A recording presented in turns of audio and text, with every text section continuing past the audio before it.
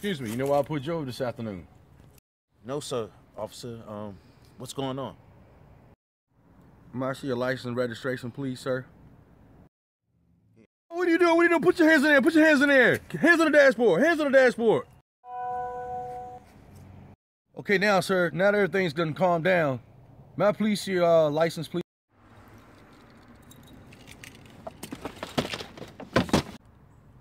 You know why I stopped you? Is it because I'm white? It's not because of your race. Got a freaking tail light out.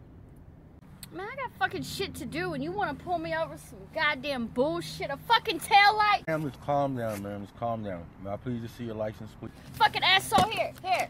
Damn! Ma'am, just get your tail light fixed and have a nice afternoon.